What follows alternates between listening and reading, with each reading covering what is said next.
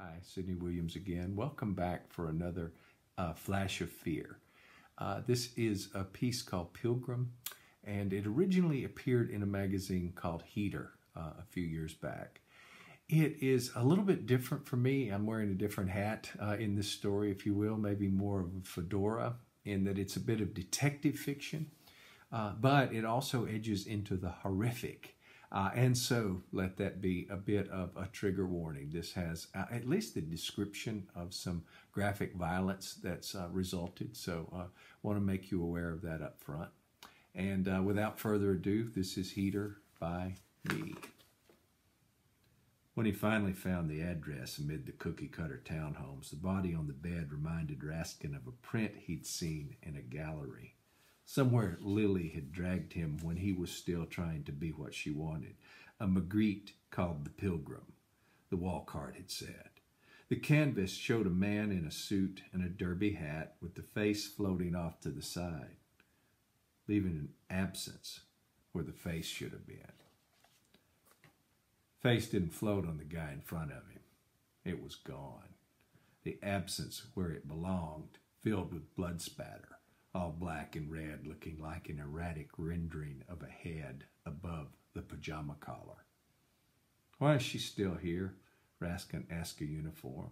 Sobs racked the woman in the pale, blood-spattered negligee, her hair a tangled mop, her face raw from the sting of tears, waves of them. The chill from the night air through the open window wasn't helping either. Not my husband. Not my husband. She doesn't want to leave his side. Find another room for her. As one uniform guided her away to await a victim counselor, another took Raskin into the townhome's small living room. A guy in a dark suit with no tie sat staring at the wall, or at nothing, disheveled. What the hell did he want? Raskin asked. He's babbling. He had a bottle of pills of some kind in his pocket, but the label's missing. Not sure if he's reacting to a prescription or what. No ID on him. Raskin sat in an armchair facing the guy. What's your name? After a second of looking blank, something clicked. Tyner. Paul Tyner. What do you do? Jewelry merchant rep. I travel, do trunk shows. I, I carry a lot of valuables. That why you had the shotgun?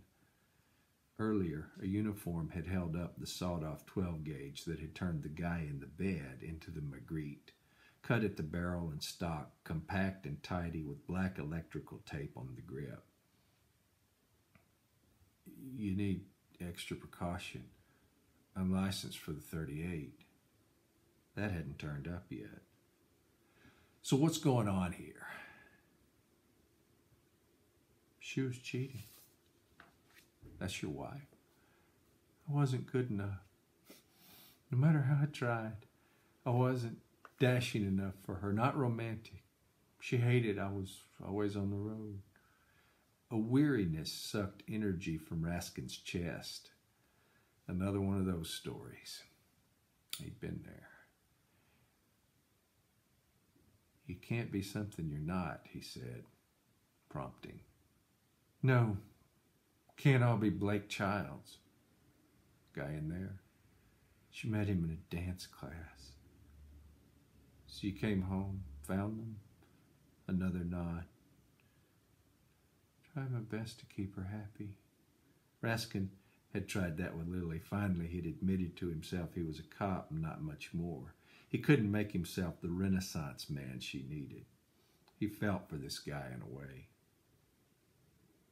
Guy must have been pretty comfortable here. Brought his pajamas. Moving right in. My house. Had trouble at the front door. Hands shaking too bad. Looked in the window. Saw two people in bed. Went back to the car. Then you came in the window with your shotgun. That's how it happened. Found a car at the corner. His keys fit. Uniform back in the living room doorway. There's a case in the trunk, a 38, plus a wallet with credentials for Paul Tyner. Okay, let's get him downtown once the counselor's finished with his wife. Sir, I don't I don't think she's his wife. I think that's what she's saying. What? Tyner's address on his license is a block over. This place checks out as the address of a Steve Parsons. That explains what she keeps muttering, what she's trying to tell us. This guy's not her husband. Raskin thought of another Magritte in that gallery, a picture of a pipe that said, This is not a pipe, only in French. Townhouses in this neighborhood all look alike, the uniform said. I had trouble finding this one myself, Raskin said. Guess this guy Parsons lost his head for being something he wasn't. Well, thanks for tuning in, and uh, we'll be back with another one of these in a while. So uh, subscribe if you like, and uh, join us once again for a flash of fear.